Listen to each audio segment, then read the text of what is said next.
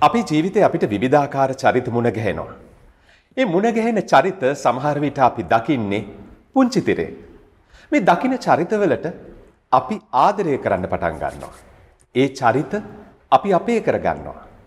එහෙම බොහොම තදින් ඇදබැඳගත්ත චරිතයක් එක්ක තමයි හාටු හට්විත් කැලුම් මේ කතා බහින් අද මම ඔබත් එක්ක එකතු වන්නේ. ඇය නමින් නදී කම්මැල්ල වීර. බොමාදරෙන් ආයිබෝවන් කියල නදී මම ඔබෝ පිළිගන්න. අයිබෝන් අයිබෝන් කැලමයි. නදී ඉන්නේ ඔස්ට්‍රේලියාවේ සිද්ධිනුවර. නදී ඇවිල්ලා ඉන්නවා නිවාඩුවකට.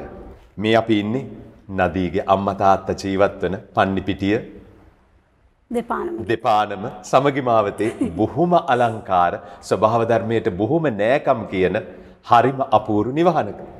අපි ඔබේ පුංචි කාලෙන් පටන් නදීගේ ගම ගම කියන්නේ අයි මම ඉපදුනේ අංගොඩ මුල්ලෙරියාව නවනගරය කියල ඊට පස්සේ එතන නම වෙනස් කරා මං ඉපදිලා මේ ඇතරම ගොඩක් එක මෑතකද මේකදට එනකම්ම මං ඒ ප්‍රදේශය තම හිටියේ. දැන් නදී කම්මැල්ල වීර කියලා කියනකොට වාසගමත් එක්කම බොහොම බරකමක් දැනෙනවා. මේ බරකම දැනෙන්නේ සුවිශේෂී වූ හේතුවක් නිසාවෙන්. ඔබ ගැන කතා කරනකොට කතා නොකරම බැරි තවත් චරිතයක් තියෙන ඔබේ පියා. මගේ තාත්තා ජයතලක කම්මැලිවිර විශිෂ්ට ලේකකෙක් සම්මානනීය ලේකකෙක්. සම්මානනීය ලේකකෙක් තව ඔහුට භූමිකාවන් රසක් තියෙනවා ඇතටම සමාජයේ ඔහු සමාජ ක්‍රියාකාරිකයෙක් කියලා කියන්න පුළුවන් දේශපාලනික වශයෙන් සමාජයේ වෙනුවෙන් විශාල දායකත්වයක් කරන දිගින් දිගටම කලාකරුවෙක් විදිහට ඔහු සම්මානනීය ලේඛකයෙක්. ඔබ පවුලේ එකම දරුවද? නෑ මට අයිය කෙනෙක් ඉන්නවා. මට වඩා අවුරුදු හරියටම අවුරුද්දක් වැඩි. අපි දෙන්නගේ උපන්දින එක දවසකින් තමයි මම ඔක්තෝබර් 18 ඔක්තෝබර් 19. මම ඔක්තෝබර් 17. හොඳයි හොඳයි. ඒක දැනගත්තා. 17 18 19. නදීගේ පුංචි කාලේ කොයි වගේද ගෙවුනේ? දැන් තාත්තා ග්‍රන්ථ කතුවරයෙක් ප්‍රසිද්ධ ලේඛකයෙක් පුංචි කාලේ ඉඳන් මේ තාත්තා ලියන දේවල් කියවන්න නදීගේ හිත පෙළඹුණාද? ඔව් දැන් පොඩි කාලේ ඉඳලා මම දැන් තාත්තා නිසා ගෙදර ඉතින් පොත් සෑහෙන පොත් එක්ක ඇසුරක් තිබුණා. පොත් නිතර කියවනවා අප තාත්තත් ඇත්තටම ලියන්න පටන් ගත්තේ එයාගේ ජීවිතෙත් පසුකාලීනව. පසුකාලිමකද හු මේ පූර්ණ කාලීන වාමාංශක දේශපාලනය නිර්ත වෙලා හිටියේ. එයාගේ ජීවිතය තරුණ කාලේ සම්පූර්ණයම වගේ දැනුත් එහෙම තමයි. ඉතින් අර යහපත් සමාජයක් ගොඩනැගීම සඳහා ඒ වාමාංශික දේශපාලන ව්‍යාපාරය තමයි එයා හිටියේ. තරුණ කාලින්දලම කෙටිකතා ලියනවා කවි ලියනවා හිම සාහිත්‍ය ඇසුරක් විශාල වශයෙන් තිබුණාට වෘත්තීය වශයෙන් ලේඛකෙක් බවට පත් වෙන මම හිතන්නේ තාත්තට අවුරුදු 40 දෙකකදී හෝ තුනකදී තමයි මේ පළවෙනිම පොත කළසපත්තු කියන කෙටිකතා සංග්‍රහය ප්‍රකාශයට පත් කරන්නේ. හැබැයි එතන ඉඳලා ඉතාම මොකද පළවෙනි කෙටි කතා එකතුවටම තාත්තට රාජ සාහිත්‍ය සම්මානය හම්බුණා. ඉතින් ඊට පස්සේ දිගින් දිගටම තාත්තා ලියන්න පටන් ගත්තා. සහ ඒවා ඉතින් විශාල වශයෙන් ඇගීමටත් ලක් වෙනවා. ඉතින් ඒතර මගේ මේ කුඩාම අවදියේදී අපි තාත්තා ඉතින් ලේඛකයෙක් කියන එකට වැඩිය මට මතක තියෙන්නේ දේශපාලන ක්‍රියාකාරකයෙක් විදිහට. ගෙදර නැති මහාරෑ වෙනකන් එන්නේ නැති අම්මා බලාගෙන ඉන්න එනකං අපේ අම්මත් ඒවට විශාල වශයෙන් සම්බන්ධ වුණා. මේ තාත්තගේ ඒ දේශපාලන කටයුතු වලට. ඉතින් මට ඒ මගේ පුංචි කාලේ මතක තියෙන එහෙම. ඉතින් එතකොට බය. ඉතින් දැන් මෙයා ඉතින් දැන් ඒක අපි විශාල මේ අනතුරුදායක කාල පරිච්ඡේදයන් ගෙවපු රටක්නේ ඒව තමයි. ඊට පස්සේ තමයි ඔහු ලේඛකයෙක් කියන එක සමාජගත වෙලා ඒක එන්නෙත් මමත් ටිකක් මං ලොකු වෙනකොටම නෙමෙයි නමුත් මගේ උත්තාම කුඩාවදියේදී එහෙම එකක් මට මතකනේ අරක තමයි මගේ ඔළුවේ තියෙන්නේ. තාත්තගේ දේශපාලන ජීවිතය. හැම වෙලේම ඉතින් මේ තාත්තගේ සහෝදරවරු කියලා කියන්නේ. ඉතින් අපේ ගෙදර එනවා පෝස්ටර් අඳිනවා අපිව පෙළ පාලිකගෙන යනවා රතු ගවුම් අඳගෙන ඉතින් අම්මත් යනවා ඒවත් එක්කම. ඉතින් එහෙමත් ඒ ජීවිතය තමයි මට මතක මගේ කුඩා කාලේදී. සාමාන්‍ය දරුවෙකුට අත්විඳින්නට නොහැකි වෙච්ච අත්දැකීමක් තමයි මං හිතන්නේ ඔබට අත්විඳින්නට ලැබලා තියෙන්නේ. මං හිතනකොට මට හිතෙනවා. පක්ෂ කාර්යාලවල එහෙම තමයි අපේ පුංචි කාලේ පුංචි දැරිවියක් විදියට බෝනික් උතුරුල් කරගෙන සෙල්ලම් කරනකොට මං හිතන්නේ නදීට සෙල්ලම් කරන්න වෙලා තියෙන්නේ පෝස්ටර් එක වෙන්නට ඕන. ඒ ගොඩක් තිබුණා එහෙම ඒ පැත්තේ ජීවිතේ මට හොඳට මතකයි. නමුත් ඒත් එක්කම ඉතින් අපේ තාත්තා මේ ගේ අර සාහිත්‍ය ද මමත් ඉතින් හරි උනන්දු පොතපත ගෙනත් දෙනවා පත්‍ර ගෙනත් දෙනවා. මමත් පොඩි පොඩි කෙටි කතා කවි අර මේවා ලියනවා පොඩි කාලේ.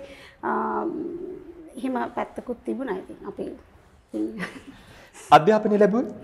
ඉස්සලාම කැළමයි මම ගියේ අංගොඩ ප්‍රදේශයේම තිබිච්ච අංගොඩ ශ්‍රී රාහුල මහාවිද්‍යාලය කියන පාසලට.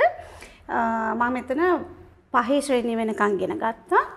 අ, මගේ අම්මට තිබුණා විශාල උනන්දුවක්. මේ අ, මාව කොහොම හරි අ, ඒ පාසල ඉතින් මෙහෙමයි අර මේ අ, මම ගණන්ස හොඳටම පීගෙන එන්නේ අ, පන්තියට ඇවිල්ලා අර අ, අ, අපි ඔය ඉතින් දන ගස්සවගෙන කියන්නේ දැන් ගමේ ඊටාම පුංචි පාසලක්. ඒක දැන් එහෙම නැහැ දැන් ඒ පාසල අ, දියුණු දියුණු වෙලා තියෙන්නේ. කොහමද? මගේ අම්මට මම ටිකක් ඉගෙන ගන්න දක්ෂයි. සාමාන්‍යයෙන් ඉගෙන ගන්න දක්ෂයි. ඉතින් අ, අපේ අම්මට විශාල උනන්දුවක් තිබුණා. අ, මාව කොහොම හරි මේ ඊට වඩා හොඳ ඉස්- හොඳ පාසලකට දාන්න කොළඹ ඉස්කෝලේකට දාන්න පුළුවන්ද කියලා. අ, මට මතකයි මං පහේ ශිෂ්‍යත්ව විභාගෙත් ලිව්වා. ඒක පාස් වුණේ නැහැ ෆේල් වුණා.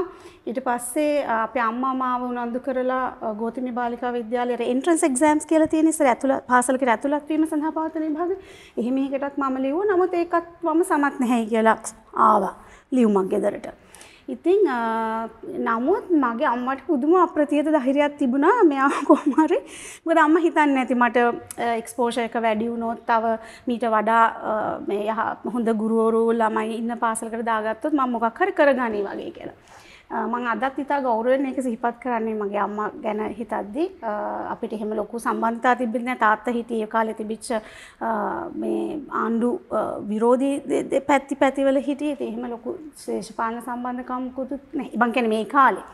අ, නමුත් කොහොම හරි අපේ අම්මා ආමගේ ආගියා කෙනෙක්ට කීර්ති මාමා කියලා මං ගෞරවයෙන් සිහිපත් කරනවා වුවත් මේ අ, යත් එක්ක එකතු වෙලා උන්ගේ සම්බන්ධය පාවිච්චි කරලා ගෝතමි බාල විද්‍යාලයට මාව දැම්මා. අ, ඇත්තට මං හිතනවා ඒක මගේ ජීවිතේ අ, එක එක හැරවුම් ලක්ෂයක් වෙන්න ඇති. මොකද මේ ඉස්කෝලේදී මම දක්ෂයනේ. ඉතින් අ, මට පුළුවන්. ඉතින් දුවන්නත් පුළුවන්. මං හොඳ ඇත්ලිට් කෙනෙක්. අ, අ, නමුත් අතන්ට ගිහාම මම මට තේරුණා මම මොකක්ද මගේ ඇති මුකුත් නෙවෙයි. මම මොකෙද්ද කියලා හිතෙනවා නේද එතන ඉන්නවා ඊට වඩා හුඟක් අධ්‍යාපනික වශයෙන් දක්ෂ අය වෙන වෙන ශාස්ත්‍රවල දක්ෂ අය. ඉතින් මන්ට ඒ ඒ- ඒකත් එක්ක අම්, ආව නිකන් මම කොහොම හරි අ, මේ මේ අධ්‍යාපන කටයුතු වලින් අර එතන හිටපු මම මම කැමති වෙච්ච දක්ෂ අයගේ ලෙවල් එකට යන්න ඕනි කියලා. ඒක මම අමාරුවෙන් කරපු දෙයක්. ඉතින් මං හිතන්නේ ඒ හරහා ඒ හම්බෙච්ච යාළු මිත්‍රයෝ ඒ පාසලේදී හම්බෙච්ච අවස්ථා ආරෝමයවත් එක්ක මගේ ජීවිතේ මං හිතනවා ඇත්තටම අම්මා හිතපු එක හරි කියලා. හරි කාගෙන එක කරපු එක ගැන. ජීවිතය ඔහොම ඉස්සරහට ගලාගෙන යනකොට කොයි කාලෙද නදීට හිතුනේ කලාවට සම්බන්ධ වෙන්න. ඇත්තටම කැලම හිතලම කරපු එකක් නෙමෙයි. කිසිම එහෙම ඉලක්කයක්වත් සැලසුමක්වත් මම හිතන්නේ මගේ ඔළුවේ තිබ්බා කියලා මට මතක නැහැ. ළමයි කාලේ ඉස්කෝලේ යන කාලේ ඉස්කෝලේදී වුණත් අ, මම හැබැයි ඔය මේ හරි විහිළු කතා එහෙම කියනවා. ඉතින් දැන විහිළු රංගපෑම අරම වල දක්ෂයි. හැබැයි කිසිම වෙලාවක මට හිතුන්නේ මට රංගපෑමට ඇතුල් වෙන්න පුළුවන් කියලා. මොකද ඒකට අවශ්‍ය පසුබිමක් මට අ, පාසලයකින්වත් හම්බුනේ නැහැ. අ, ද පාසලේ වුණත් ඒ වගේ වැඩවලට ගන්නේ එක එක පිරිසක් හිටිය ඒගොල්ලන්ව තමයි ගන්නෙ. අ, ඉතින් අ, මගේ පෙනුමයි ඉතින් අර කළු හමයි ඒවත් බන්තන බලපාන්න ඇති කියලා මට හිතෙනවා. මං ඉන්නෙත් අ, නිකන් ඔහේ අර සාම්ප්‍රදායික නිලි ස්වරූපය නදීගේ දකින්නට ලැබෙන්නේ. නෑනේ. ආ, ඉතින් කොහොම හරි මට හොඳට මතකයි ඔය ගෝතමි බාලිකා විද්‍යාලයේම සින්ඩරෙල්ලා කියලා සින්ඩරෙල්ලා ප්‍රොඩක්ෂන් එක ඉංග්ලිෂ් මේ කරපු ටීචර් තමයි කරේ. දැන් ඒකේ ඒක තමයි මට මතක අර මට අනේ මට රඟපාන්න තියෙනනම් කියලා හිතිච්ච. මට සිංහරෙල්ලා වෙන්න ලැබුණන හොඳයි කියලා හිතුනද ඇත්තටම. මොකද ඒක සිින්ඩරෙල්ලා කියන චරිතය කරේ දුලිනි බෝවත්ත කියලා.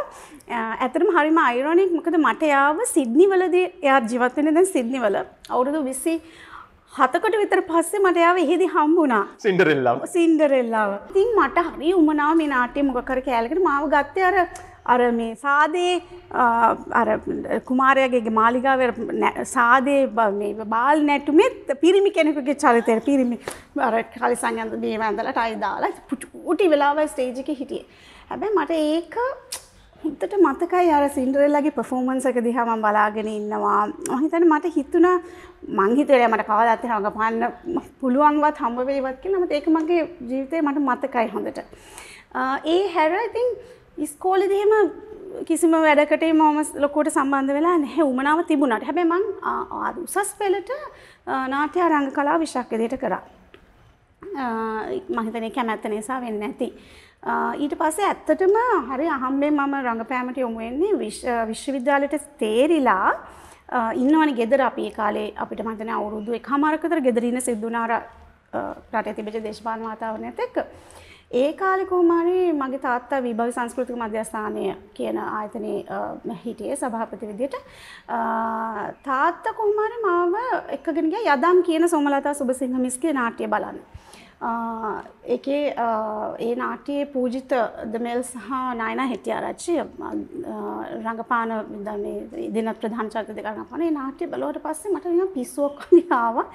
ඒ කියන්නේ මේ වේදිකාව සහ රඟපෑම ගැන මගේ මකට ආවනිකන් ලොකු ආසාාවක් ඉති කොහමද තාත්තා මාව එක්කන් කියලා සොමලතා සුබසිංහ මිස්ට ඒ අදම් නාට්‍යය බලලා ඉවර වෙලා පිටිපස්සට මාව බෑක්ස්ටේජ් එකට එක්කගෙන ගිහිල්ලා කිව්වා මෙන්න මේ මෙයාව පොඩ්ඩක් ඔය මොන හරි කරන දෙයකට මේ පුළුවන් නම් සම්බන්ධ කරගන්න කියලා. ඉතින් මිස් කිව්වා මේ උඹ වරෙන් එහෙම මිස් කතා කරා. උඹ වරෙන් අපේ වර්ක්ෂොප් එකක් තියෙනවා මේ මං අලුත් නාට්‍යකුත් කරන්න යනවා. මේ වර්ක්ෂොප් එකට බරින් කියලා. ඉතින් මම ගියා ඒ වර්ක්ෂොප් එකට. හිමකුමරියස් කියන නාට්‍ය කරන්න අවශ්‍ය නළු නිලියන් තෝරගන්න තමයි ඒ වර්ක්ෂොප් එක තිබ්බේ. මම ඉතින් මාස මතන හය හතක් එක දිගට එක එක වැඩවලට සභාගනක නැටුම් ඉගෙන ගන්නවා සිින්දු කියන්න ඉගෙන ගන්නවා පොඩි පොඩි රඟ පෑමුත් ඉගෙන ගන්නවා කොහමන ඒකටම කොච්චර උනන්දුද කියන මට මතක මයි කකුල බල්ලෙක් කාලා තිබුණා මගේ මේ පතුල ඊවත් උතාගෙන මම දවසක් ගියා රිහර්සල් පයිනුත් යන්න නවි බස් එකේ ගිහිල්ලා අර පාර්ලිමන්ට් පාරමිස්කේ ගෙදර තියෙන්නේ ඇවිදගෙන මිස් උඹට පිස්සුද බෑකෝ මේ මේ මේ නටන්නේ කොහොමද? කියලා කියලා ගෙදරත් වෙලවල ඒ තරම් උනන්දුව මගේ. කොහොම හරි ඒ වර්ක්ෂොප් එක අත්තරෙදී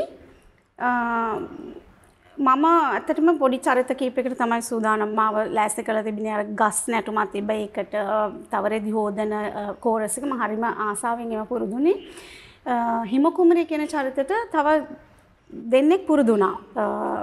සසන්ති ජයසේකර එක්කෙනෙක්. අනිත් එක්කෙනා කුමුදු. කියලා එයා දැන් ලංකාවේ නැහැ. දාම දක්ෂ විදියට චරිත නිරූපණය කර අය සසන්තිත් නෑ. සසන්තිත් නැහැ. ඒකන මිස් කෝමාරි ඒගොලන් රිහසල් නැති වෙලාවක ඒගොලන් රිහසල දැවිල්ල නැහැ. අනිත් අයට රිහසල් කරවන්න අවශ්‍ය නිසා කවුර මේ කරිතය කරන්නේ පැයිතින් පොසිෂන් සහ මනිතයට එතකොට මිස් මරිකුව මේ නදී ඇවිල්ල මේ පොඩක් කරහන් කියලා. මට ඩයිලොක් සරම ඔක්කොම මතකයි හරි උනන්දෙන් මං ඉඳලා තියෙන්නේ කියන්නේ අර ඉබ්බ දියට දාන්න හදනකොට ඇන්නේ වැයි කිව්වල් කිව්වයි කියලා මිස්ට තේරෙන්නේ නැද්ද මං කොච්චර ආසද කියලා. කියන්නේ ලයින්ස් මතකයි, පොසිෂන්ස් මතකයි. කොහොමාරි ඊට පස්සේ හවස මිස් ඇවිල්ලා මට කිව්වා උඹ මං උඹ හිමු කුමරිට දානවා. එහෙම කිව්වා. ඕ දානෝ මේ නදීවා මේක සීරියස්ලි අරගෙන පුරුදු වෙනවා. මම ඉතින් හිම කුමරිය කියලා කියන්නේ. ඒකයි මම මගේ රංගන ජීවිතේ මං හිතන සෝමලතා සුබසිංහ මිස් තමයි නිසා තමයි මං මං අද මොන හරි කරනවා නම් තැනක ඉන්නවා නම් ඇය තමයි මාව එතනට තල්ලු කරලා ඇරියේ ගෙනාවේ. මාව කැරෙහි විශ්වාසය තිබුණේ. එතකොට දැන් මම කළු හමක් තියෙන කෙනෙක්න හිමකුමරේ කියන්නේ ඒසේ නාට්‍ය සිින්දුත් තිබුණි ඇගේ ඇගේ මේ සුද්ද ගැනනෙ කතා කරන්නේ. ඉතිං මම කෝ මිස් මම එක නැහැ මගේ නාට්‍යය මම සුදු කියලා කියන්නේ මේ හදවතේ සුද. මම මේ මේ කතා කරන්න මේ එලිය බාහිර ලස්සනක් ගැන නෙමේ මගේ ස්ක්‍රප් එක කැරක්ටර එක එහෙමයි මං හදලා තියන්නේ මේ උඹ වේක කරන්න මෝනි කියලා මට විශ්වාසය උඹට කරන්න පුළුවන් කියලා. ඉතින් ඒ එදා මිස් මං කෙරෙහි තබපු ඒ විශ්වාසය මං හිතන එක විශාල අභියෝගයක් බාරගන්නේ. මම මේ චරිතය කරා මං හතාම ආසාාවෙන් කරේ මහිත මයික හොඳට කරා.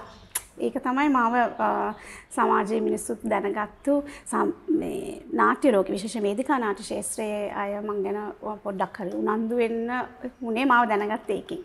මම අතිශය ගෞරවෙන් මගේ ගුරුතුමියව සිහිපත් කරනවා සෝමලතා සුභසිංහ ඊට පස්සේ අය මට තවත් විශිෂ්ට අවස්ථා ගණනාවක් දුන්න අයගේ වේදිකා නාට්‍යවල ප්‍රධාන චරිත ප්‍රියංගනී කියන විකෘති නාට්‍යයේ චරිතය. ඊට පස්සේ ඇය කරා මාවකගේ සංග්‍රාමය කියලා බර්ටෝල් බ්‍රෙස්ට්ගේ මද කරේජන් හර් චිල්ඩ්‍රන් කියන නාට්‍ය අනුවර්තනයක් මම ඒකේ කැතරින් කියන ගොලු දියනීගේ චරිතය රඟපෑවා. මිස්ගේ ළමා නාට්‍ය සියල්ලකම වගේ මම රඟපාලා තියෙනවා රත්මලී එකේ රෙඩ් රයිඩින් හුඩ් කියන ස්ටෝරි එකේ හදපු නාට්‍ය ඉතින් සෝමලතා මිස් තමයි මාව නිලියක් කරේ මං ඇගෙන් තමයි රංගනය කියන්නේ කොයිතරම් වගකීම් සහගත බැරෑරුම් වෘතියක්ද කියන එකත් Uh, ඒක කොයිතරම් අවංකව uh, හෘදයාංගම එකැන uh, නියලිය යුතුද කියන එකත් සහ ඒ ශිල්පයට අදාළ ප්‍රධාන මූල ධර්ම සියල්ලමත් මම ඇයගෙන් තමයි ඔක්සේරටම වඩා ආත්ම විශ්වාසය මං හිතයි මගේ ජීවිතේ මං එතනින් තමයි මට පුළුවන් මම හැමට හැකියාව තියෙනවාය කියන එක මගේ ඒ විකසිත වීම පටන් ගන්න එතනින්. එනිසා මම ඇයව ඉතාම ගෞරවෙන් ආදරයෙන් සිහිපත් කරනවා මේ අවස්ථාව. සුමලතා සුබසිංහ මිස් වගේ මගේ දියණිය කෞශල ෆර්නෑන්ඩෝ සහ චන්දනාලුගේ මට ඒ ආයතනයේ උගන්වපු තව ගොඩක් අය ඉන්නවා රෝහිත කරුණාරත්න පූජිත දමෙල් ඒ ටීම් එකෙන් තමයි මම මුලින්ම ඉගෙන ගත්තේ. ඉතින් කෞශල්‍යයක්වත් පස් එයාගේ නාට්‍ය ගණනාවක මම සම්බන්ධ වෙනවා. එයත් මගේ ජීවිතයේ ගුරුවරියක්. මම ඇගෙන් ගොඩාක් දේවල් ඉගෙනගෙන තියෙනවා. තානටත් ඉගෙන ගන්නවා. රංගනය පිළිබඳ මනා හැදෑරීමකින් යුතුව රංගන ක්ෂේත්‍රයට අවතීර්ණ වෙච්ච නදී. ඉන් පසුව පිය තබනවා පුංචි තිරයට. ඉස්සලා මාව ඇතරම චිත්‍රපාටයකට ගියේ මම බූඩි කීර්තිසේනගේ මිල්ලෙ සොයා පුංචි තිරේට ඉස්සෙල්ලා රිදී තිර. ඔය ඔව් මම ඇහුවේ පුංචි තිරේ ගැන. ඔව් මම චිත්‍රපටිවල තමයි ඇත්තටම ඉස්සලම රඟපෑ. ටෙලිනාට්‍යවල රඟපෑව ඇතරම් ගොඩක් පස්සේ මම. මිස්ගෙන් වේදිකා නාට්‍යවල මම රඟපාන අත්තරෙද්දීම කොහොමාරි ওই මිල්ලේ සොයා කියන චිත්‍රපටියේ මහේන්ද්‍රයගේ නංගිගේ චරිතයක් කරන්න පොඩි චරිතයක්. කෙනෙක් ඔය හොයා ඉඳලා කුමාරි දැන් අර හිම කුමාරි දාරවාද මේවා ටිකක් කරන අතරෙද්දී කවුරුහරි කියලා තිබුණා. මම හිතන්නේ කුමාර කරවදෙනි අයියා තමයි. මගේ නම කියලා කියලා තිබුණේ මෙයාව try කරමු කියලා. ඉතින් කොහොමද මම මං ගියාම බුඩි අයියත් මට කැමති වෙලා මගේ චරිත කරේ එක තමයි මම රඟපාපු පළවෙනි මේ චිත්‍රපටය කැමරාවක් ඉස්සරහා. බොහොම වටිනා චිත්‍රපටයක්. බොහොම වටිනා චිත්‍රපටයක්. විශේෂ චිත්‍රපටයක් අපේ රටේ හැදිච්ච. ඊට පස්සේ කොහොම හරි අශෝක හඳගම මේ මගේ සඳයි කියන චිත්‍රපටියට මාව සම්බන්ධ කරගත්ත සාරක් කියලා ලස්සන චරිතයක්. මට කොහොමද මට වාසනාවන්ත මට එක ළඟ එහෙම අවස්ථා ටිකක් ලැබුණා. මේ මගේ සඳයක ඉවර වුණාට පස්සේ තවත් බොහොම ආందోලනාත්මක චිත්‍රපටයක් මේ මගේ සඳයි. තිශයෙන් මං මං හිතන්නේ මං ආందోලනාත්මක ඒවා තමයි වැඩිපුර කරලා තියෙන්නේ. ඊට පස්සේ ප්‍රසන්න විතානගේගේ ඉරමැදියම කියන චිත්‍රපටයේ චරිතයක් මට ලැබුණා. ඉතින් කොහොමහරි ඒ ඒ චිත්‍රපට දෙකේම රඟපෑමට මට සම්මානත් ලැබුණා. මගේ පටන් ගන්න ටිකේ මං හිතන මං වාසනාවන්ත වෙලා තියෙනවා කියලා එහෙම අවස්ථා ලැබෙන්න සහ ඊට පස්සේ වගේමටත් ලක් වෙන්න. අනිවාර්යයෙන්ම මොකද නවක රංගන ශිල්පිනියකට සිනමාවට ප්‍රවිෂ්ට වෙලා රඟපාපු මුල්ම චිත්‍රපටි දෙක තුනේදී සම්මානයට පාත්‍ර වෙන්න ලැබෙනවයි කියන එක සුළුපටු කාරණයක් නෙමේ. අනිත් එක මේ රඟපාන්න ලැබෙන්නේ අපේ සිංහල සිනමාවට බොහොම වැඩදායක සේවයක් කරපු කලාත්මක ගණයේ චිත්‍රපටි අධ්‍යක්ෂකවරුන් යටතේ. ඉතින් මේක ලොකු භාග්‍යයක්. ඇත්තටම ලොකු භාග්‍යයක්නේ කැලුමයි දැන් ඒ කියන්නේ ඇතුල් මම මම එනකොටම සෝමලතා සුබසිංහ කියන්නේත් වෙටරන් ඉතාම ඉතාම ප්‍රවීණ රංගවේදිනියක්. රංගවේදිනියක් සහය කාන්තාවක් නිසා ඒ හරහත් මට මගේ ජීවිතයට විශාල දේවල් එකතු වුණා. අ, සහ ඊට පස්සේ ඉතින් අශෝක හඳගම් ප්‍රසන්න විතානගේ කියන්නේ ඉතින් දැනටත් සහ ඒ කාලේ විශාල දැවැන්ත පෞරුෂයන් අපේ අ, කලා කලා ලෝකේ සිනමාවේදින විදිහට. ඉතින් මං අ, මං ඒතසුපට මට ලක් එකක් තිබිලා තියෙනවා කොහොම හරි. සාපේද මම හෙන මම ගොඩක් මහන්සි වෙනවා. ඉතින් චරිතයක් ලැබුණාම මම ඒක ගැන දැන් ඉරමැදියම නාට්‍ය චිත්‍රපටයේ නාමල් ජයසිංහගේ නංගි විදිහට තමයි මම රඟපෑවේ. නාමල් ජයසිංහ කියන්නේ නාමලුයි මායි දෙන්නම සෝමලතා සුබසිංහ මිස්ගේ වර්ක්ෂොප් වල සහ ඔය තව එක එක නාට්‍ය වර්ක්ෂොප් වල ස්ටැනිස්ලාවස්කි තියරි අධ්‍යයනය කරන අපි හරි පුදුම උනන්දුවක් තිබුණේ අපිට ඒ කාලේ. ඉතින් අපි තරුණයිත් එක ගොඩක්. කලාව ගැන පරතරට යන්න පුදුම උනත් තිබුණා. උනා මට හොඳට මතකයි නාමල්ගේ මගේ සංවාදය කාලේ රෑ එලි වෙනකන් අපි අ, නාට්‍ය රිහර්සල් හරි මේ කරලා නාට්‍ය නම නාට්‍ය කෙටි නාට්‍යකුත් කරා මම මේකෙත් රඟපෑවා. අ, ඉතින් පොත් අරගෙන ඇවිල්ලා අපි ඒවා බලනවා. ඉතින් නාමල් තමයි ඇත්තට මේවා ගැන ගොඩාක් විශාල උනන්දුවක් මන් තුළට ඇති කරන්නේ. ඔහුගේ කියවීම දැන් ඔහුගේ තිර පිටපත්වල ඉතාම පැහැදිලිව ලියවෙනවා. මට මන් දැන් ඉතිහාසය හිතනකොට ගැන අපි අවුරුදු විසිතුනක් විසි හතරක් කාලේ ඇ හැසිරීම හිතනකොට නාමල්ගේ ඒ ඔහු යන ගමනේ ලක්ුණු ඇත්තටම පේන්න තිබුණා. ඕ කොයිතනම් සියුම්ද ඔහු චරිත අධ්‍යයනය කරන හැටි සමස්ත සමාජය දිහාවගේ නිරීක්ෂණය සහෝට තිබිච්ච මේ- මේ- මේ උන ඇත්තටම. අර හරිම වචන. උන ඉති නාමල්ගේ නංගි විදිරතම ම මේ චිත්‍රපටය තරඟපාන ඉතින් ප්‍රසන්න විතානගේ මහත්මයා අපිත විශාල සාකච්ඡා අත්තර මේ කරලා අපිට උපදෙස් දීලා එතික්කම නාමල් මායිතේවා ගැන කතාත හැදෑරීමක තමයි අර ලොකූ මේ අවබෝධයක් දැන් හිමකුකුත් අපිට නෑ. නමුත් අර කොහෙන් හර ගන්න පුළුවන් සෝසස් වලින් අ, එහෙම උනන්දුවක් තිබුණා ඉතින් ඒ කාලේ රිදී තිරයට සම්බන්ධ වෙච්ච නදීට කොහොමද රිදී තිරයෙන් පුංචි තිරයට එන්න ලැබුණ. ආනන්ද අභිනායක අයිය කියලාම කියන්න අය නිසා තමයි ඇත්තටම. ආනන්දයිගේ පෝය නාට සංසාර පියසටහන් ජීවිතයට අමුත්තෙක් කියලා. ඒක තමයි මාව ඉස්ස මම ඉස්සරම ගිල ටීව ගැන පුංචිතිරේ මංකරපු රඟපෑම. ඊට පස්ස කොමන ආනන්දයියට මං ගැන ඉති විශ්වාසයක් තිබුණ මං හිතන දැන් මං මම ඊළඟට මාව මේ බෘතාන්ත ටෙන්නාටිකට ගන්නෙත් ආනන්දයන ටීව එක වැඩි වැඩ කරලා නැහැ මාම ඉඳලා නැහැ ඇත්තටම තාම පොඩි දේවල් ප්‍රමාණික තමයි වැඩ කරලා තියෙන්නේ. හැබැයි ඒ පොඩි දේවල් බොහොම ලොකු සටහන් තබපු නිර්මාණ. බැද්දෙකුලව මිහෙම ඕ මට එතෙන්ට තමයි එන්න ඕන. මම කියන්න එක එක මගේ කතාව ඔස්ට්‍රේලියාවේ ඉප කාල ගිල හිටියා. ආ, ඉඳලා මම ලංකාවට ඇවිල නැවතත් යන්න තිබුණ මට ඇත්තටම. ආ, යන්න නියමිතලා තිබෙන ටිකට් සීමත් බුක් කරලා. ඉන්නකොට හදිසියම මේ අ, මට ඇතන කෞශල ප්‍රාන්දුවක්ක කිව්වා මේ අ, නදිය අපරාධ. ඉතින් ඔයා යන්නේ මේ ආනන්දය මේ ඔයාව වැඩකට හිතනවලු මේ පරාධ ඉතින්න ම අපිත් කිව්වෝ යනවා කියලා හෙම කියලා. දෙම යන්න මේ දවස් අවස් පහ යන්න තියෙන මට. ආ, මට ඉතින් අර කත් දෙකක් වුණා ඒක හැවට පස්සේ එකක් අ, ආනන්ද අභේනායක අන්තික දැන් දැ මෙහෙමනි කැලුමයි මම හුඟක් මට ලොකූට අවස්ථා හම්බෙලත් නැහැ රඟපාන්න.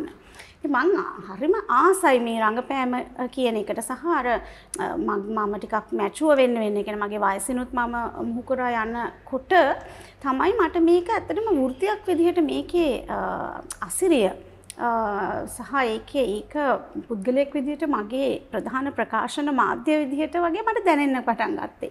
ඉතින් මට විශාල අ, පිස්සුවක් කියලා කියන්න තියෙනවා රඟ රඟපාන්න. මං හරි ආසයි අ, ඒ දැන් දැනට දැන් වෙද්දි විශාල වශයෙන් පිස්සුව තවත් වැඩි වෙලා. වෙලා තියෙන්නේ. මොකද දැන් අ, ඒක දැනගන්න දැනගන්නන්නේ ඒකත් මුවහත් වෙන්නෙත් ශාප් වෙලා තියෙන්නේ. ඉතින් දැන් මෙහෙම කියපු ගම මට පිස්සු වගේ ගියා. මම කිව්වා නෑ නෑ නෑ කෞශක්කේ අම්, කියන්න මම කන්සිඩර් කරන්න කැමතියි. දැන් මේ කිසිම යන්න මේ බෑගුත් පැක්කන අපේ අම්මාර පහේ කුඩු තුන පාරවම ඒවත් ඔක්කොම මේ ලෑස්ති කරලා මට ගෙනියන්. කොහමරිකම හෙමද කියල කවෂක් හරිම චාන්දනයක් කර යන්න කිය චාන්දනය සෙනවිරත්න මම බහම කෝලයක් කරකො මේ මාව හොයනවා දානන්දගෙක් තින් දවා යනවන නද අපි මේ වෙන වෙනයි ට්‍රයි කරනවා මේ කැරක්ටර එකකට. කියලා. අනේ ම චාන්දනයක් කියන්න මට ස්ක්‍රිප් එක දෙන්න කියලා පොඩ බලන්න. තුමරි කිව්හම මම ඉට පස්සේ එක ඉගොලන් කෝඩිනේට් කරලා කොමරි මෙන්න නදී කියනව පොඩ්ඩක් එක බලන්න කැමති කියලා. කොමරි ආනන්දය මට ස්ක්‍රිප් එක දෙන්න අඩ ගැහුවේ රූපහනි සංස්ථාවේ වැඩක හිටියේ. මං මේ තරුණ ගෑනුවමගේ චරිතයක්න බැද්දෙකුළ ඉති එතකට මට මම මේ තරන් තරුණ නැහැ එතකට ආනන්දය කිව්ව මේ එන්නකොට කෝ බලන්නත් කියලා මට. මං ස්ක්‍රප්ට ගන්නත් ගිහාම කිව්වක් ආව අච්චර වෙනස් වෙලානන්න නැහැ. මේ නදී මේ මේ ඇත්තන මං ආව තමයි ඉසලම හිතුවෙත් නමුතුවා නැහැ කිව්ව නිසා මම වෙන වෙන ඔප්ෂන් වලටත් දැන් කල්පනා කරා. ගස්නගෙන පුළුවන්ද කියලව ඉතිං මක අදයෝ ඒ ගස් ඕය ගස් නගිල එක කට ඉතින් පීනන්න පුළුවන්ද? වැවක කියවා ඇත්තර පීනන්න බෑ මට. පුළුවන් යානද මක් පොට පුළුවන් කියලමඟ අමරු වටාර දැන් මේක ඕන නිසා. කෝමාරි ගන්න ඕන මේ චරිත ඕන නිසා. මහිතම කෝමරි ගෙන ගන්නම් පීනන්න පුළුවන්. ඉතින් ටිකක් පුළුවන්. වැවක පීනනවාගේ ඊට පස්සේ කොහමර ස්ක්‍රිප් එක දුන්නහම මට දැන් මේක රෑ කිවේ මට හොඳට මතය ම ටික පාන්දර දෙකතුන විතරනකම් කියව ඩිසිෂණ එකක් ගන්නත් එපේ. මම යනද නැද්ද? මේ දරුවගේ ස්කෝල හෙ මම ලෑස්ත කරගෙන කොහමරි ඉවර වෙලා මම කම්මලට තාතරම්කුත් කියනති මං හොරෙන්ම රෑමංතන දොළහ මාට විතර. ආනන්දට කෝල එකක් කරගෙන කිව්වා ආනන්දේ මම මේකට එනවා කිය සාන්දයක තුරවාගේ යන එක කොම මේකට මොහක් හරි කරන්න මම මේක කරන්න නවා කිය මොකද ඒ එකේ චරිතය චන්සලා කියන චරිතයට මට ඇති චාස අනතික ආනන්ද අබේනායක කියන අධ්‍යක්ෂකවරයා යටතේ පෘතාන්ත ටෙලිනාට්‍යයක එකන් දිගට ප්‍රධාන චරිතයක් දිගට ඇදෙන චරිතය මට හිතුන එක මම පැහැර නොහැරිය යුතු අවස්ථාවක් රංගන ශිල්පිනයක් විදිහට නං මම මාංගැන හිතන්නේ. ඊට පස්සේ කොමර ආනන්දයකෝ මං ඔයා කෙරෙහි විශාල විශ්වාසයක් තියෙනවා නදීමට එහෙනම් අපි මේක කරමු කියලා එයත් එක්ක ඔක්කොම ඒ කතා බහත් සිද්ධ වෙලා තමයි මම කිව්වේ උදේ නැගිටලා තාත්තට කිව්වා මම යන්න කියලා.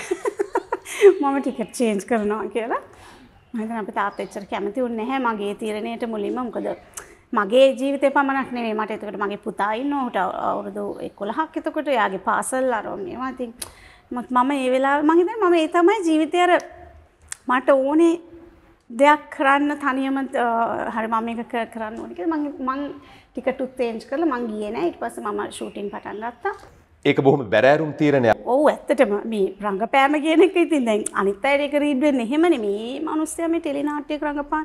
හැබැයි මම ඇත්තට මේ වෙලාවේ හිතුවා මේ මම ජීවිතේ වඩාම කරන්න කැමති දේ නම් මට අවස්ථාවත් ලැබෙනවා නම් මං කියන එක විශාල අවස්ථාවක් නැති ලැබෙන මම තීරණය කරන්න ඕනේ මගේ වෘත්තිය කියන එකත් මම ඉස්සරහට දාන්න ඕනේ. ළමයා ඉතින් තාම පොඩි. මං ඇත්තට මෙහිම හිමත් හැමතිස්සෙමත් මං එහෙම හිතනවා.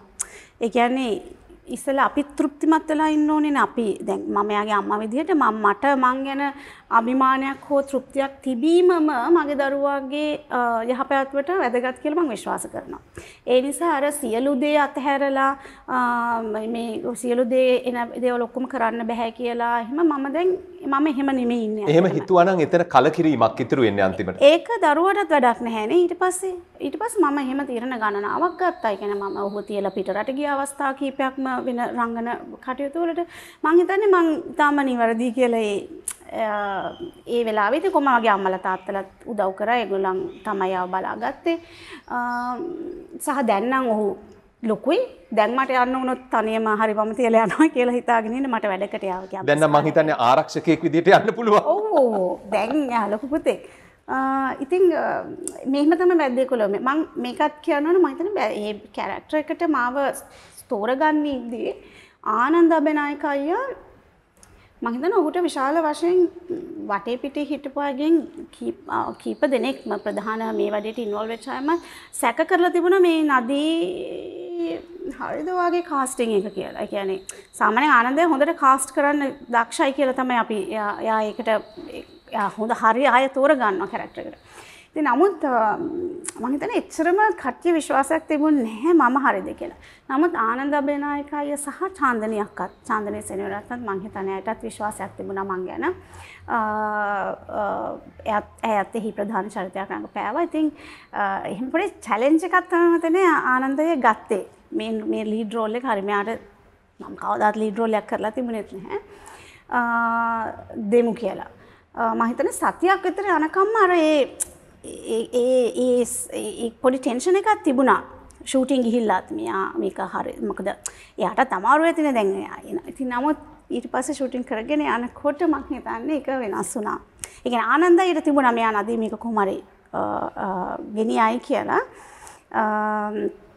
ඊට පස ටික ටික ටික ටික තමයි මම හිතන්නේ අනිත් අයගේ විශ්වාසය ඇවිල්ලා කොහොම හරි ඉතින් ඊට පස්සේ මම හිතන්නේ ඒක මම හිතන්නේ මං මාත් හොඳට කරා ආනන්දයත් මම හිතන්නේ සැහැමකට පත් වුණා සන්තෝෂ වුණා ඒක ගැන. ඇත්තටම බැද්දිකුලෝමියට ඒ අවුරුද්දේ තිබිච්ච අර ටෙලිනාට්‍ය වලට සම්මාන දෙන මේ සම්මාන වලවල් හතරෙම සම්මාන ලැබුණා.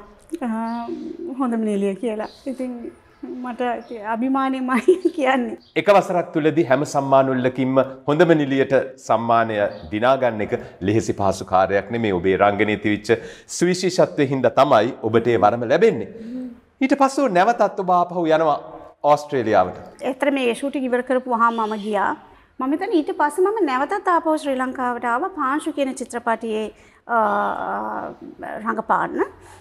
ඒ යනවා එහෙන අර එහි ගියාට යන්න හිතකින් නෙමේ ඇතර දක්ෂ අධ්‍යක්ෂකවරයක නිර්මාණය ම දක්ෂ අධ්‍යක්ෂකවරයෙක් විසාකේස චන්ද්‍රසේකර පාංශුකෙන චිත්‍ර සයක චිත්‍රපටයක් විදිහට මහිතන විශේෂ්ට නිර්මාණයක් කියලා මම ඒ චිත්‍රපටි රඟපාන්නත් මාසයක් එහින්දලා අපහුවාව ළමයත් ආයිත් ඇදගෙන මාත් එක්ක ඔන්න යන් කියලා මොකද මම පොරොන්දු වෙලාම තිබුණ මේ විසාකේස අය මගේ බොහොම ළඟ හිතවතෙක් ඔහු ඒ චිත්‍රපටයේ පිටපත ලියද්දිම මට කිව්වා රංගී මම ඔයාගේ මූණ තමයි ඔයාගේ මූණ ඉමැජින් කරලා තමයි මේ කැරක්ටර් එක ලියන්නේ කියලා. ඔයා ලංකාවේ නැති වෙයිද කියලා. මං කෝ කොහේ හිටියත් මං එනවා මේ මේ විසාහයි කියලා. මට අර එහෙම පොඩි කොහේ හිටියත් මේ රංගපාන වැඩේ කොහොම හරි කරන්න ඕනි කියන එකක් තියෙනවා. දැනටත් තියෙනවා. ඉතින් එයා කිව්ව අතර මෙයා දැන් එහෙම මේ අපි මේ යාම සල්ලි දාලා එයා ඉතුරු කරපු සල්ලි දාලා තමයි චිත්‍රපටය හැදුවේ. මම කෝ මම එන්නම් කොහොම හරි මම ඇවිල්ලා ඒ වැඩේ කරන්නම් කියලා. ඉතින් මම ඇවිල්ලා ඒක ෂූටින් කරලා ආපහු ගියා. ඉතින් ඔහොම තමයි. ඔය අතරේදී මට ඇත්තටම මේ වෙන වැඩ කීපයකුත් ලැබුණා. ඒ කියන්නේ ටිකක් මේ මේ ෆොරින් ප්‍රොඩක්ෂන් කීපයකත් මට වැඩ කරන්න අවස්ථාව ආවා. ඒ මොනවද?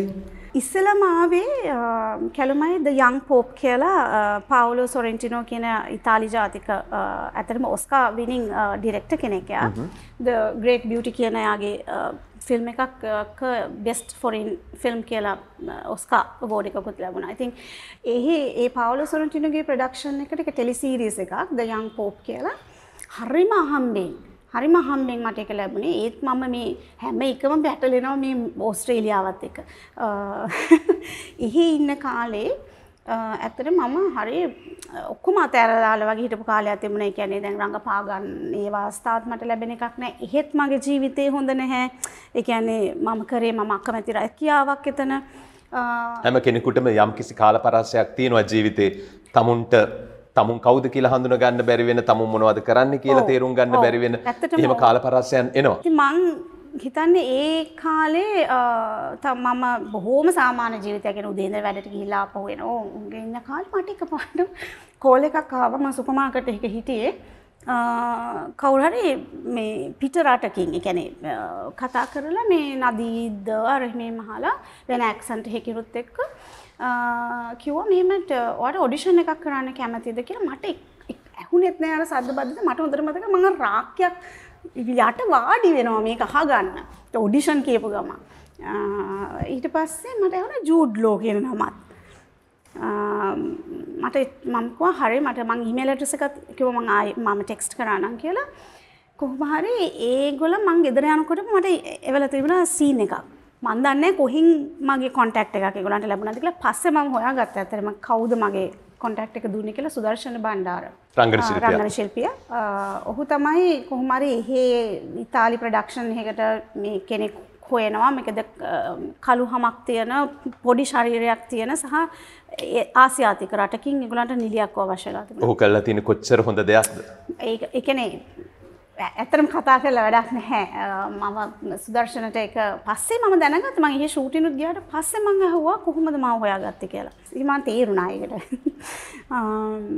සිස්ටර් සුරී කියලා ටෙලි සීරීස් එකේ කුඩා චරිතයක් නමුත් අතිශයින් වැදගත් චරිතයක්. ඒ ස්ටෝරි එකට මගේ චරිතය ලොකු කන්ට්‍රිබියුෂන් එකක් කරනවා. සහ මට ඇත්තටම රංගපාන තිබුණේ ඔක්කොම ජූඩ් ලෝත් එක්ක. ඒ අති දැවන්ත නළුවත් එක්ක. ඉතින් ඒක මං හිතුවා මට ලැබිච්ච විශාල භාග්‍යයක්. විශාල කියන්නේ මට හිතෙනවා කොහෙන් කොහෙන් හරි අර යුනිවර්ස් එක අනිත්තට පොඩ නවත්තලා රංගපෑම්මටත් මාව තල්ලු කරලා තියෙනවා කියලා. ඇත්තට මේක ටිකක් අමුතු විදිහට ඒවා ඒක සෙට් උනේ. ඉතින් මම ආයත් ලංකාවට ආව ළමයාත් අරගෙන මොකද රෝමෙට යන්න තිබුණා ෂූටිං වලට පුතාව තියලා යන්න බැරි නිසා තනියම මම ආවා. මම ඇත්තටම කියන්න ඕනේ ඒ ප්‍රොඩක්ෂන් එකෙන් මම මම හිටියා සැහෙන කාලයක් එතන මං මුළු කාලෙම මාස තුනක් විතර ගත කරා වරින් වර මම හරිම බයෙන් තමයි ගියේ. ඒ කියන්නේ මේ මුකුත් දන්නෙත් නැහැ මේ ඩිරෙක්ටර්ව දන්නෙත් නැහැ ලොකු නළුවෝ නිලියෝ මේ ඩියන් කීටන් හිටියා ඒකේ. භාෂාව ඉංග්‍රීසි භාෂාව ඉංග්‍රීසියෙන් කරේ ඉංග්‍රීසියෙන් කරේ සහ ලැටින් වලිනුත් අපිට ප්‍රයාස එහෙම මම සිස්ටර් කෙනෙකුට රඟපෑවේ වැටිකන් වතිකානුවේ. මේ පාප වහන්සේ ගැන කතාව ඇත්තටම ද කොයිතරම් වටින අවස්ථාවක්ද? ඔව්. තාම වටින අවස්ථාවක්. ඉතින් නමුත් අර ඒ ඒ විශාල ලොකු සෙලිබ්‍රිටිස්ලා වුණාට මම ඇතුල් වෙනකොටම මට සෙට් එකේ කොස්ටියුම් ඩිසයින් කරපු කෙනා කිව්වා ජූඩිස් to see you කියලා. එහෙම කිව්වා. ඔව් එහෙම කිව්වා. මම බලව දැන් මම යන්න හරිම බයෙන් right. මම මාව ගණන් ගන්න යන්නේ නැහැ සත පහකටවත් ඉතින් දැන් දැන් මම වෙනම පිටස්තරයෙක් විදියට නෙමෙයි මේකට ඇතුල් වෙන්නේ. හැබැයි එයා මට ඒ නළුවා මට මාත් එක්ක තමයි සීන්ස් ටික තිබුණේ යාගේ. ඉතින් මම හිතනවා ඔහු විශ්වාස කරනවා යම්කිසි දර්ශකයක් හෝ ඇක්ට් එකක් සාර්ථක වෙන්න ඇත්තටම මම තනියම මේ වැඩේ කරලා හරියන්නේ නැහැ. මගේ කෝ ඇක්ටර් කම්ෆර්ටබල් වෙන්න ඕනේ සහ යයි මායි අතර කෙමිස්ට්‍රි එක හදා ගන්න ඕනේ. එහෙම නැතුව මේ මේ මේ වැඩේ කරන්න බැහැනේ ඇත්තටම. ඉතින් ඒ වෙනුවෙන් ඔහු මාත් එක්ක අනිත් එක යා කොච්චර ප්‍රවීණ නළුවෙක් වුණත් ටෙන්ෂන් එක තියෙනවා අර අපි ලයින්ස් ටික බලමු දාපව අපි ආයෙත් කරමුද මේක වෙන වෙන ටෝන එක ට්‍රයි කරමුද මේකට හරි උනන්දුව. ඒ කියන්නේ ඔහුගේ නිහතමානීකම සහ අර අර අනිත් ඇක්ටර් අත්‍යවශ්‍යයි මේ වැඩේට. කියන එක එක තනියම වැඩක් නෙමේ මේක. තනියම රංගපාර කොච්චර හොඳට රඟ පැවත් මේ වැඩේ කරන්න බැහැ අපිට. සහ මට හොඳට මතක වූ එක්ස්ට්‍රාස්ල ඉන්නවා නම් සීන් එකේ හැම කෙනෙකුටම ගිහිලා කතා කරනවා. ඒ ඒගොල්ලන් ඉතින් පහසු කරනවා ඉතින් දැන් මොහුගේ පොප් පර්සනැලිටි එකත් එක්ක. ඒගොල්ලන් ගිහින් බොහොම සාමාන්‍ය වෙනවා. මං මං ඇත්තටම මට ඒකත් එක මතක් වුණා. එක වරක් මම රඟපෑමකට ගිහිල්ලා ලංකාවේ. මගේ අම්මට රඟපෑවා ප්‍රවීණ නිලියක්.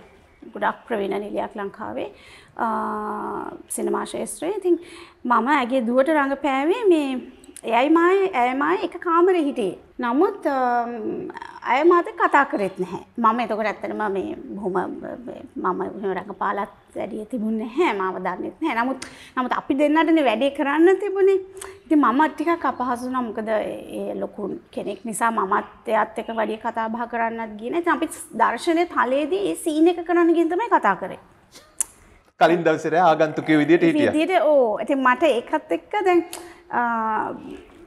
තැන් ඒ වෙනස කියන්නේ ඇත්තටම නම් අනිත් අපි අපි ඒක වැඩේ කරන්න නම් අපි අපි අතරේ හදාගන්න ඕනේ. මොකද ඒ කනෙක්ෂන් එක පේනවා මං හිතන්නේ ඇත්තට මැක්ට එක ඇතුළෙද අපි අපේ දර්ශනය ඇතුළෙදී. ඉතින් මම එහෙම එක එක බිලිවිති මම කිව්වේ අර ඒ වෙනස. වෙනස අර එහෙම නෑ. ඊට පස්සේ ලංකාව ඉතාම ප්‍රවීණ නලු නිරොත් එක මම වැඩ කරලා තියෙනවා. ඉතාම නිහතමානී සහ ඔවුන් දන්න හැම දෙයක්ම කියා දෙමින් ඉතාම ආදරෙන් අපිව සෙට් එකේ දැක බලාගෙන තියෙනවා. මම අර නිකන් කම්පැරිසන් එකක් විදිහට කිව්වේ ඒ අත්දැකීම. පොදු එකක් නෙමෙයි ජෙනරලයිස් කරලා නෙමෙයි කිව්වේ. ඊට පස්සේ යං පෝප් එක වුණාට පස්සෙම එතන ඒගොල්ලන් තව අවුරුදු දෙකකට පස්සේ ද නිව් පෝප් කියලා ඒකෙම ෆලෝ අප් සීරීස් එකක් කරා. මාව මට ඒකෙත් චරිතයක් ඇත්තට මේක මගේ චරිතම කටිනියව් කරයි ගොල්ලන් ඉතින් ජෝන් මැල්කොවිච් තමයි ඒක ද පෝප් කියන එක මේ පාප වහන්සක චරිත කරේ. ජෝන් මැල්කොවිච් සහ ජෝඩ්ලෝ තින් ඔහොම ඊට පස මට ඇතනම වේදිකානාට්‍ය අවස්ථාවක් ලැබුණා ඔස්ට්‍රේලියාවේ බෙල්වොය තියට කියලා ලොකු තියට කම්පන එක ඒගොලන් කරපු කවන්ටිංන් ක්‍රකින් කියන ප්‍රඩක්ෂණ එකක් කර අයගොලන් ඒගොලන්ට අවශ්‍යන ශ්‍රී ලාංකික නිලියක් මවකගේ චරිතයක් මැදිවී මවකගේ චරිතයක් රඟපාන්න. කොමර මට ඒ අවස්ථාවත් ලැබුණ මං ඔඩිෂන් ගණනාවක් කරලගේ. ඒ තමයි පළවෙනි වතාවට මම ඔස්ට්‍රේලියාවේ රංගන කටයුත්තකට ඇතුල් වෙන්නේ. අනිත්ත මං වෙන රස්සාවල් කරමින් තමයි හිටියම අක්කමැතිම ජාතිය මේ රස්සාවල්. නිපුණි ශාරදා කියන අපේ දක්ෂ තරුණ නිලියත් ඒ නිෂ්පාදනයට සම්බන්ධ වුණා කවුන්ටිං ඇන්ඩ් ක්‍රැකින් එකේ. එයිමයි තමයි ලංකාවේ ගියේ ඒ වැඩේට.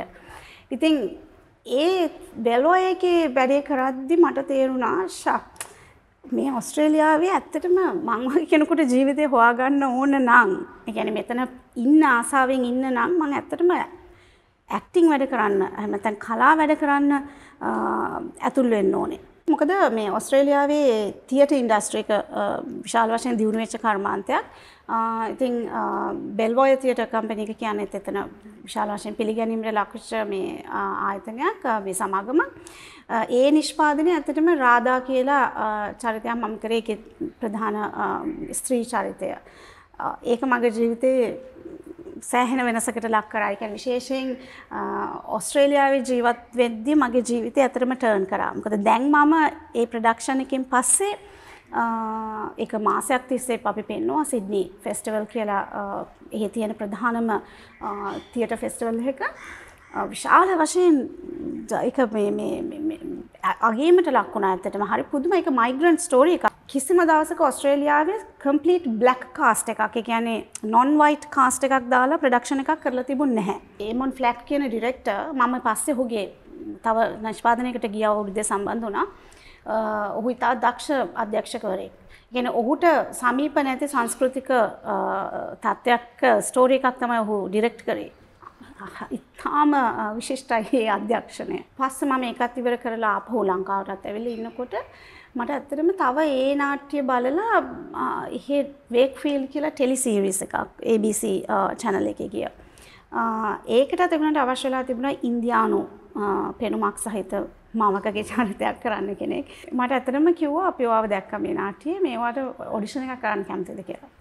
මෙතන මම මැරීගෙන කරයි ඔඩිෂන් එක දැන් ඇවිල්ලර දැහි ඔඩිෂන් කරලන තෝරගන්න දැනිකං දැන හැදුනුම් කංවලට තෝරගන්න හෙත්ම නැහැ කොච්චර දැනගත්තත් එහෙම ඇතුළෙන්න බැහැ ඔඩිෂන් එක කරලා දාල චරිතයට ගැලපෙනවද මෙයාව තමයි එක ගන්න ඉතින් එක් කොමර ඒකත් කරල මම ඇතරම පහුගිය අවුරුද ඒකට තමයි ගියේ පැන්ඩමික් එක මැද්ද ගියේ මම. කියන්නේ මේ කොරෝන වසංගතය නිසා ෆ්ලයිට්ස් යන්නේ නැති කාලෙක මම ගිය ෆ්ලයිට් පස් දෙනයි ගියේ. හැබැයි මේ හැමෝම ඒක ගැන සැක සංකා පල කර මේ යනක හල්ද මේ වෙලා මේ ෂූටිං වලට ගිහිල්ලාරීමෙන් ඔන්න කමන්නෑ මේ හම්බෙච්ච වැඩිනි කියලා. මේ මම පුතාවත් අරගෙන ගියා. මගේ පුතාව මොකද අපිට ඇත්තට මෙතන වීසා එකක් තිබුණා. ඒක එක්ස්පයර් වෙනවා. අපි මේ නැවත නැවත මම එහාට මෙහාට මේ මගේ පිස්සුව නිසා රංගන පිස්සුව නිසා මේ හට මට නිතර ගිය නිසා. මම හිතුවා මේ පුතාවත් අරන් ගිහිල්ලා ඒකත් රැක ගන්න ඒ අම්මගේ වගකීමක් පොඩ්ඩක් දැන් ඉෂ්ට කරන්න ඕන ඕනේ. මේ ඔක්කොම අස්ස කියලා.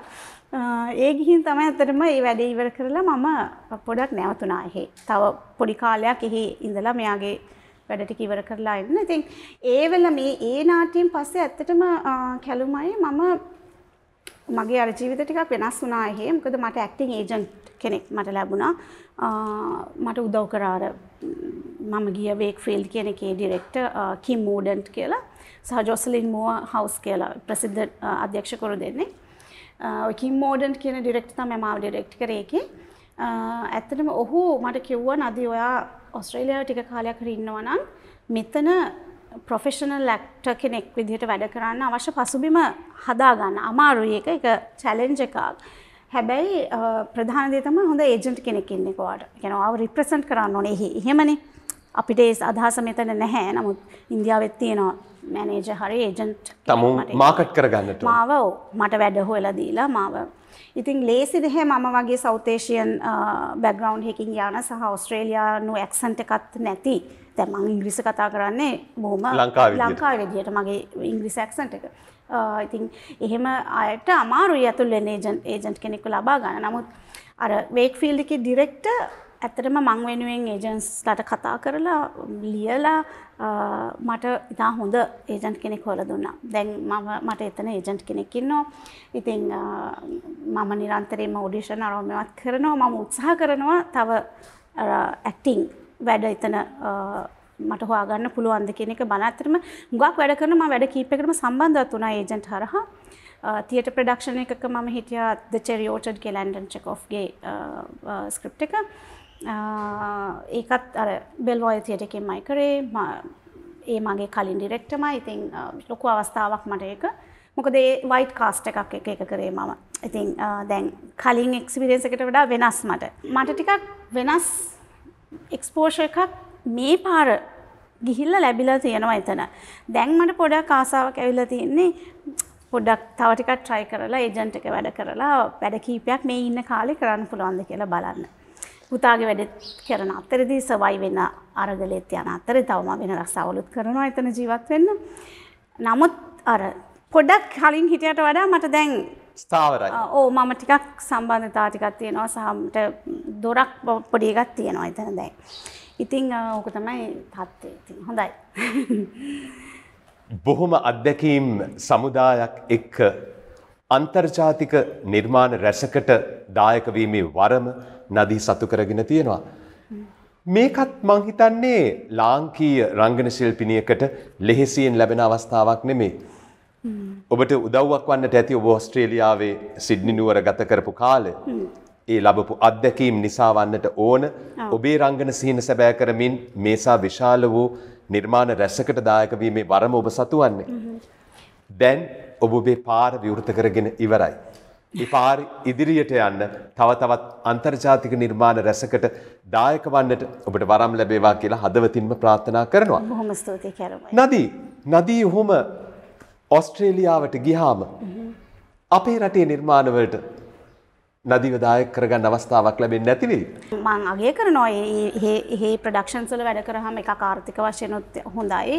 සහමට වෙන වෙන අත්දැකීම ලැබෙන නමුත් ඇත්තටම ලංකාවයවිල්ල මේ මහපොලොවේ මේ මම දන්න චරිතයක් මගේ ඇඟ ඇතුළ තින්නේ ති මේකන තියෙන්නේ මේ මෙහෙන අපි ඉතින් ජීවත්වෙලා තියන්නේ. මෙහි මිනිස්සුන්වනේ දන්න ආත්මය අපි අඳුරන්නේ. ඒක තමයි ඇත්තටම මමට කරන්න ආසමදේ. දැන් මට අ, පහුගේ කාලේ ආනන්ද අභිනායකයි යම මං එහෙ ඉද්දිම මට වැඩකට අන ගැහුවාට එන්න පුළුවන්ද කියලා ඇහුවා. ඒ කිසිම අදහසක් නැහැ ඒ මම රස්සාවලුත් කරන ඒව දාලා එන්න කිසිම මට පුළුවන් කමක් තියනවද කිසිම අදහසක් නැද්ද පළවෙනි එක කිව්වා මං එනවායි කියලා. හරි මං එනවා කියලා. ආ, පස්සේ මම මේක හිතනකොට ඒ කියන්නේ පුළුවන් ද ප්‍රායෝගිකව ඇත්තටම මම යන මොකද එතන මං ගෙයක් කුලියට අරගෙන ඉන්නේ වට ගෙවන්න ඕනේ ආ, එතන අරගලයක් තියෙනවනේ කැලුම්මයි ඉතින් තනියම මම ආ, හැබැයි ඒත් අර මෙහි වැඩක් කිරීම මෙහි ඇවිල්ලා රඟපාන එක මගේ තමයි මට මට මම හිතන්නේ මම විශාලම තෘප්තිය ලබන්නේ ඒකේ. ඉතින් අ, මට කවුරුහරි මං මේ කියනවත් එක මම මේ ප්‍රෝග්‍රෑම් එකත් පාවිච්චි කරනවා මම පිටරට හිටියයි කියලා මම මෙහි ඇවිල්ලා වැඩ නොකරන්නේ නැහැ.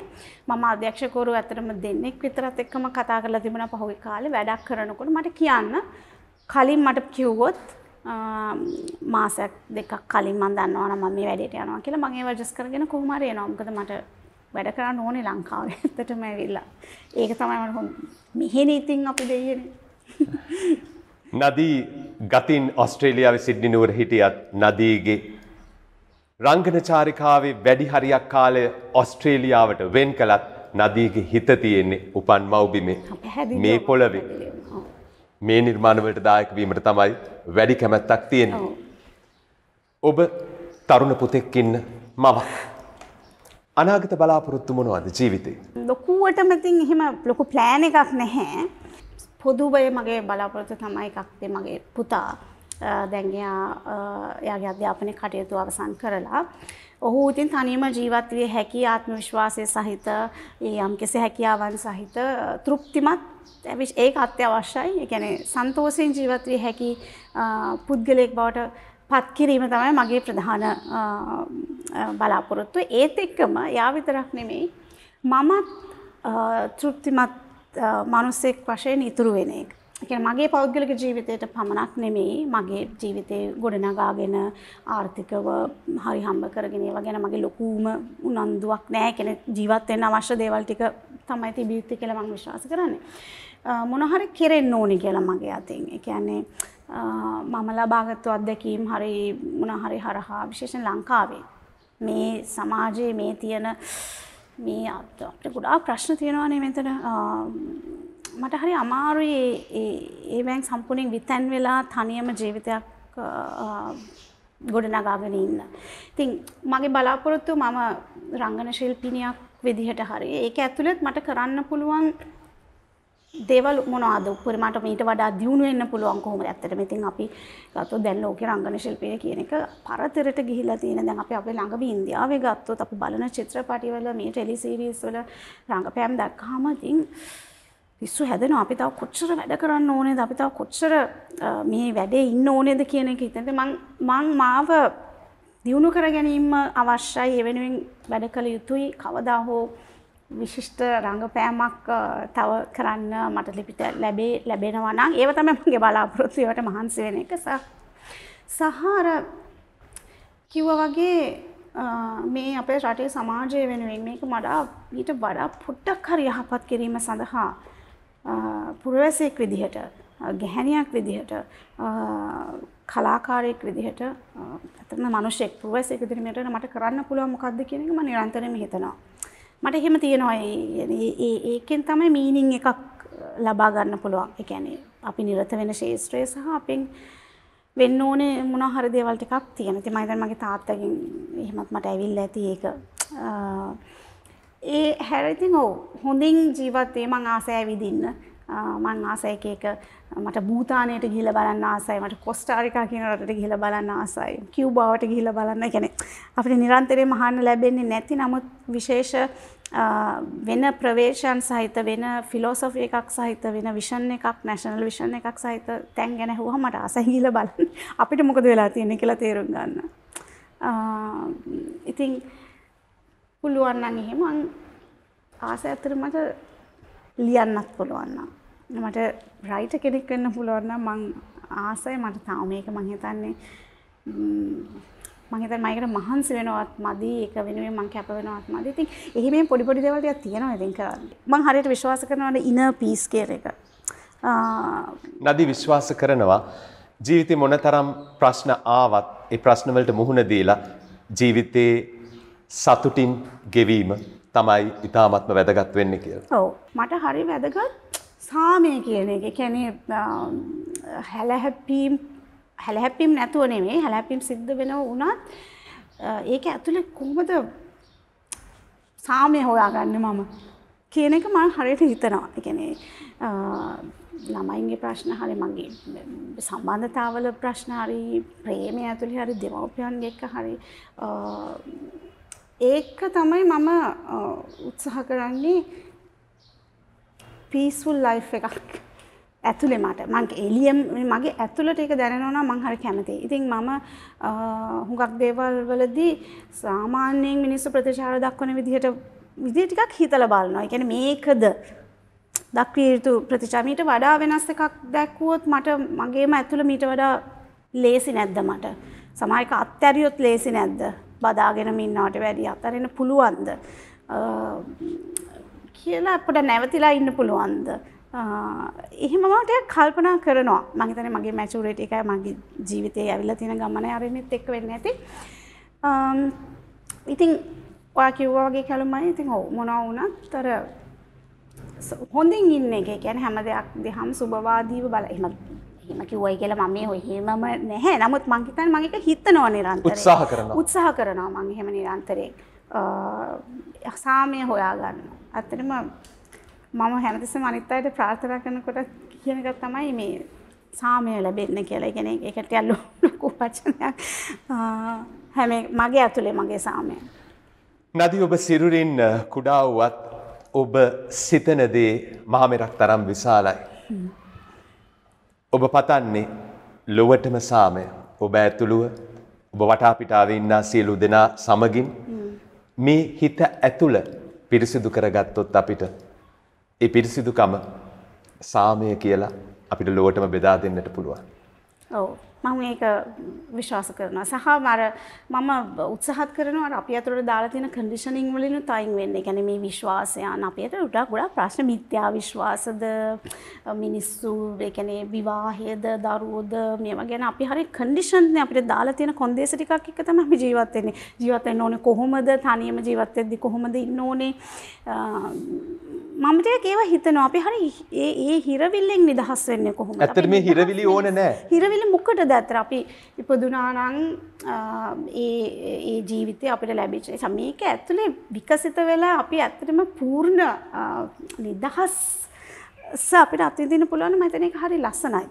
සමාජයට වරදක්. නොකර අපිට ජීවත් වෙන්න පුළුවන්. අපිට රුචි පරිදි අපේ. සිතැඟියාවන් වලට. එකඟව එතනින් එහාට තවත් මොනවද ජීවිතේ බලාපොරොත්තු වෙන්නේ? මොනවාද අපි ප්‍රශ්නයක් නැත්තම් අපෙන් ඒක ඇතුලේ තමයි ඒ ඒ නිදහස මම ඒක හිතනවා මිනිස්සු මීට වඩා හුඟක් නිදහස් වෙන්න ඕනේ කියලා. ඔබේ නිදහස් චින්තනයට මම සැබවින්ම ගරු කරනවා නදී.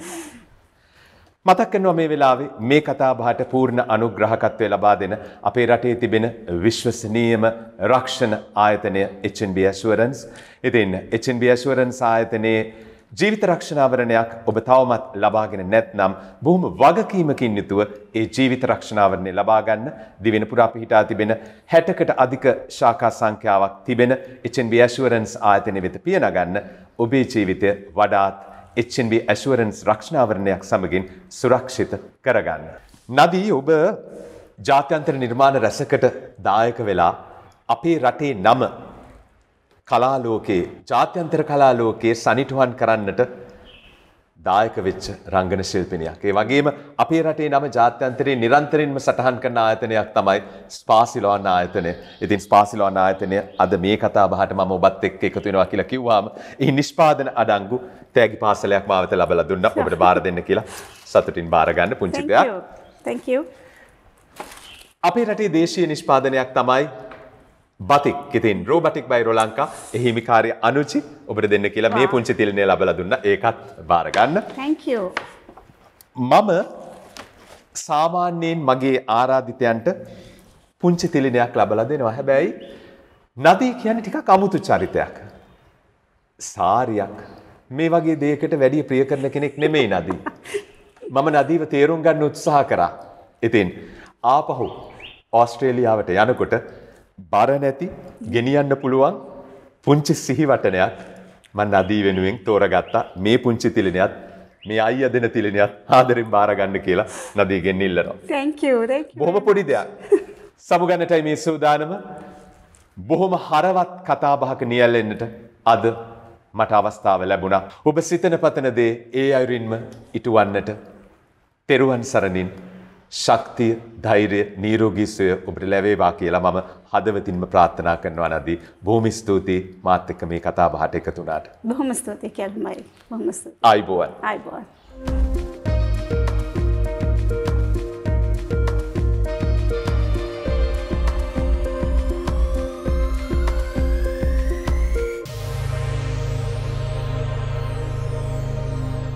විවාහයද දරුවෝද මේවා ගැන අපි හරි කන්ඩිෂන් අපිට දාලා තියෙන කොන්දේස ටිකක් එක්ක තමයි අපි ජීවත් වෙන්නේ. සමායක අත්හැරියොත් ලේසි නැද්ද? බදාගෙන ඉන්නවට වැඩිය. මට මං ගැන අභිමානයක් හෝ තෘප්තියක් තිබීමම මගේ දරුවාගේ අ, යහපැවැත්මට වැදගත් කියලා මං විශ්වාස කරනවා. මට ලොකුවට අවස්ථා හම්බෙලත් නැහැ රඟපාන්න. මගේ පෙනුමයි, ඉතින් අර කළු හමයි ඒවත් බන්තන බලපාන්න ඇති කියලා මට හිතෙනවා. මේ වැඩේට ඉන්වෝල්ව් වෙච්ච අයම සැක කරලා තිබුණා මේ නදී හරිද වගේ කාස්ටිං එක කියලා. මට හොඳට මතක මම රාක්කයක් යට වාඩි වෙනවා මේක අහගන්න. මොකක් දෙකක් වුණා ඒක ඇහුවට පස්සේ. ගොඩක් ප්‍රවීණ නිලියක් ලංකාවේ. මම ඇගේ දුවට රඟපෑවේ ඇයමයි එක කාමරේ හිටියේ. අය මාත් එක්ක කතා කරෙත් නැහැ. මං හිතන්නේ මං ආందోලනාත්මකව තමයි වැඩිපුර කරලා තියෙන්නේ.